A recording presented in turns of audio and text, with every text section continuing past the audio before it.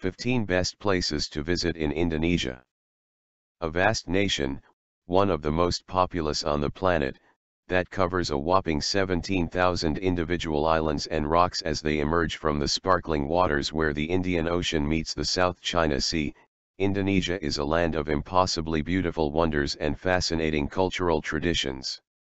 In its cities, great mosque minarets rise to the clouds, while other places burst with the scents of twisting incense and the earthy mystery of Hindu temples.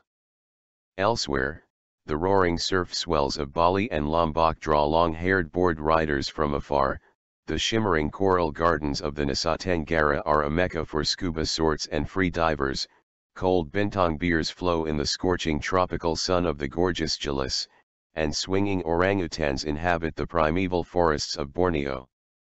Yep, Indonesia is a cocktail of sprawling megalopolises and smoke-belching volcanoes like nowhere else on Earth. Let's explore the best places to visit in Indonesia. 15 best places to visit in Indonesia are 1. Bali 2.